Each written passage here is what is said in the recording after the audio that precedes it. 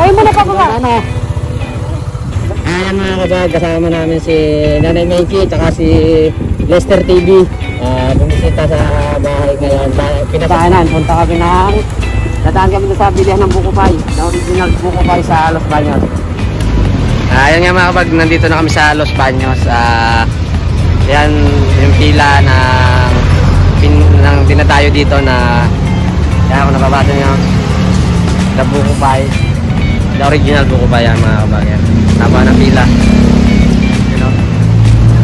yan si madam yan. Ah nakapila na.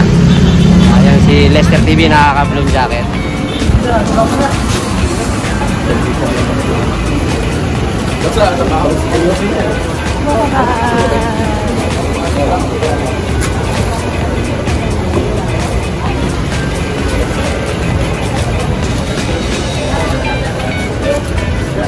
Mo.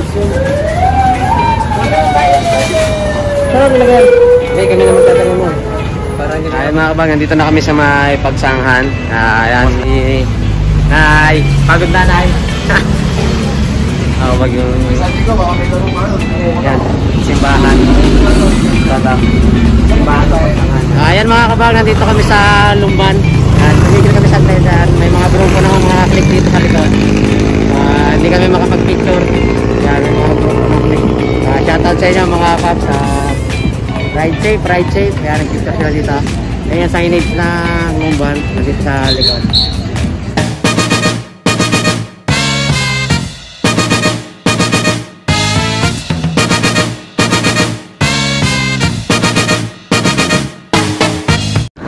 Ah, Ayan mga kabag, ah, pagkatapos ng ilang oras na biyahe, kasi matigil-tigil kami, ah, picture kami, dumaan kami ng bae sa may islahan, dumaan kami na sa original Buko Pie, sa Los Baños, mga kabag, ah, nandito na kami ngayon sa paglampas ng eh, entrance, papasok ng Pakil, saka ng Pangil.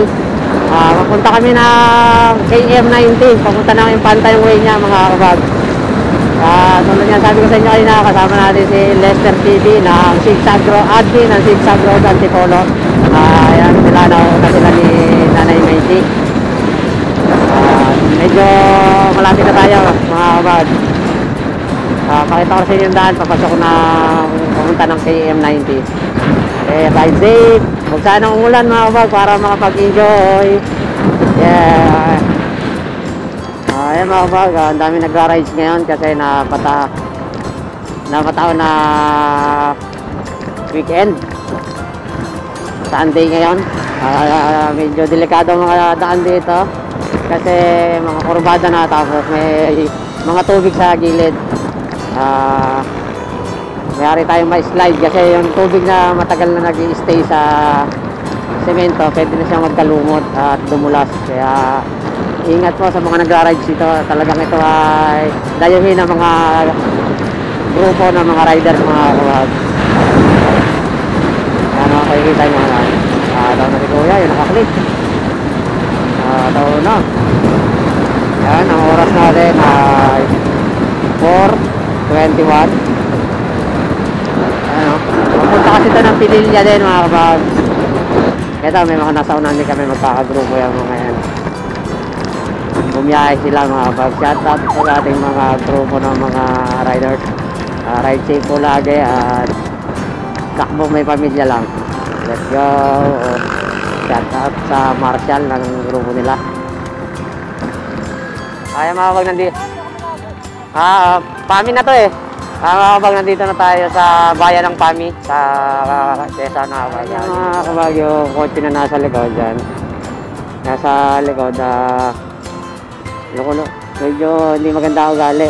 O overtake kami yan, yung kotse na yan. Overtake kami ni Lester TV eh binibilisan niya, delikado. Dandahan lang, dandahan. Baka doon. Ay, ay. Umaambun-ambun ang mga kabag. Uh, ulan ang aming gala. Kasi bulubunduko na tong lugar na to mga kabag. Kaya madaling umulan sa parte dito. Basta dito sa lugar sa Untang Pililya. Tuloy lang, tuloy lang kahit maulan. Ay, huwag dyan ang lumukas ang ulan para makapag-enjoy naman kami sa pag, pag, pamamasyal namin. Kasi nung huling pasyal namin ni Madam, nung anniversary namin sa isdaan sa Mae, umuulan din. Kaya hindi makapag-enjoy sa mga sa pinuntahan namin lugar. Ah, kapag hirap gumalaw, hirap mag-video.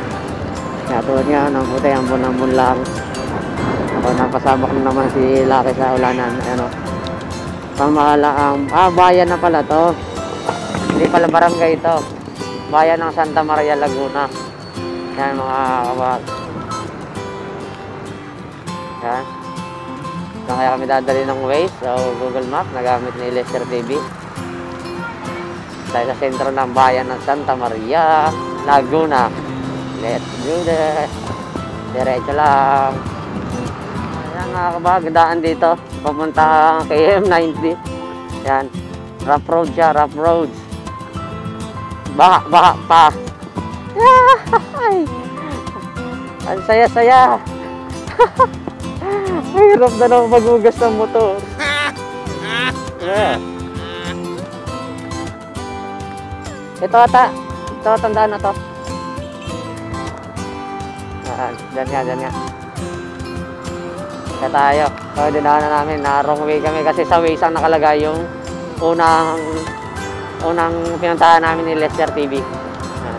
Bakit kami? Yan mga kabag, ah, taas na lugar din pala itong kay M90. Yan, akit tayo. Woohoo! Ah, una na si na Lester TV Delicado daan dito ng ay mga umaagos na tubig. Buti na lang tapos na ulan dito. Kanina siguro umulan ng malakas dito. Maagos sa daan yung ano eh, mga tubig. Ang masama dito kasi pag lagi tulad niya, nabababada ng tubig mga bagyan. Ayan o, kakakita nyo. Maglulumot yan. Ngayon, pag naglumot yan, delikado siyang daanan. Layo din pala nito sa highway, itong KM90 na to. Kaya pala kahit lagi kami nadaan dito, hindi na hindi namin ito nakapapansin. May nasiraan. Oo, naubusan ng gas. Ah, Kawawa naman, paahon na pa. Taas din pala nito kay M90 na to. Layo talaga sa highway. Napakalayo. Saan na yun? Sana? Ha? Hindi na kaya? Yan. Ang ando, taas no? Ang Nasiraan pa yun nandun no? Oo. Paakyat pa naman. Buti kong pababa, pwede nila sakyan. Ayun no? Layas na rin kayo na ya. Nakawa na. Ma, ma, mabalik na tayo, Nay? Pwede na tayong bumalik? Ha, nakarating na. Ayan mga kabag, ah, pahinga kami si Nanay Menchi. Galay na galay na mga binte. Ayan. Nakakita kami dito ng mga saging. Magkano na sa saging? Magkano po sa saging? Ito, taba. Sing- 50 ang kilo pa. Yan, ba, Huwag naman. Yan. Nay, malayo pa yung kay M90. Ba, namakyaw na si Lester TV. Yung mga bag namakyaw na ng puso ng saging.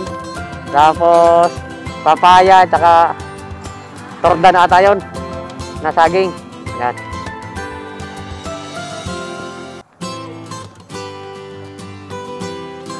Yan, si nakakita pa ng halaman. Gusto bumili. hindi ka bumili na doon sa magaganda, sa Los Baños. Sa Los Baños hindi kayo bumili. 150 na lang eh. Isang ganyan. Sa ano na sa mga pasok na magaganda, plastic. 150 na yun nandun sa labas. 250 yun sa babae, magkaiba naman sila. Bibili pa ng halaman si nanay. Ah, nay, bibili ka ng halaman, nay. Halaman pa. Dadalhin pa.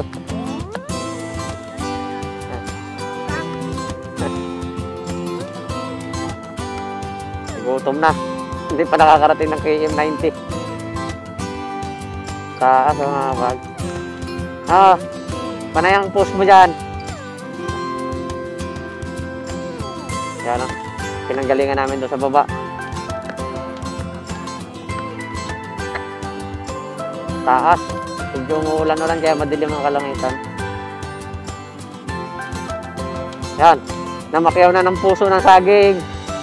Saka, saging at saka, saging na sama, saga, saging na tordan at papaya. Yan. Wala daw sa Antipolo. hmm. Ah, yan nga mga kabago. Galing kami sa taas palusong. Pa pakyat. Delikado itong daan na ganito. Eh, Inaagusan kasi ito ng tubig eh. Kaya yung dala ng tubig ng mga batoga na umi-stack dito sa pinakambaba. Ano? Naka BMW. Naka BMW. Mga naka BMW yan oh. Shoutout po, shoutout. Ah, mga sumali ng Boss Ironman. Kasama ni na Jay Katagumpay. Yan mga kabag. Mga naka big bike yan. Ito pa. Dami nila oh. Malamang galing to ng kil- kilometer 90. Yan sila.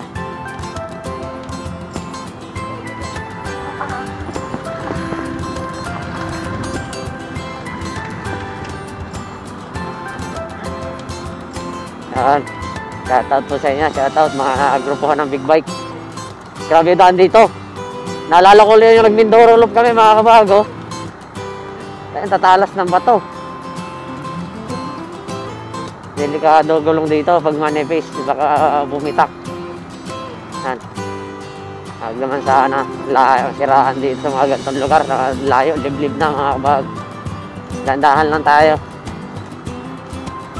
Ah, Kaya nga mga kabag, yan yung talagang dadaanan pumunta dito. Ang habang rough road din mga kabag. So, parang patapos na ang rough road, semento na itong bandang tayo pataas. Siguro malapit na tayo sa pupuntahan natin. Ah, ayan. Buti na lang lumiwanag na parang papakita ng haring araw. Okay yan, okay yan. Ah, lumiwanag para ah, yung mga view ah, makita natin. Yung overlooking ba siya. Yan. Sementado na ulit mga ah, kabag. Malapit na siguro tayo. Tayo sa entrance ng Empanta. Yan. Picture picture muna, picture picture. Yan, Empanta, papasok na. Yan, Bosin to, nandito na kami sa inyo, sa Empanta. Dito rin palang daan ng lusot. Yay! Welcome! Empanta, Quezon. Yan. Yan, picture muna si Lester TV. Picture muna tayo mga kabag.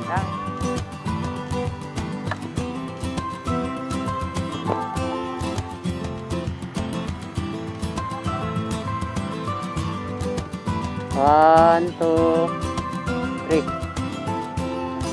Yan. Ayos na, ayos na. Ayun, may mataas na... Malapit na ba tayo? Ah, nakapag-picture na kami dito sa Welcome Empanta. Malapit na daw kami sa kilometer 90, sabi ni Lester TV.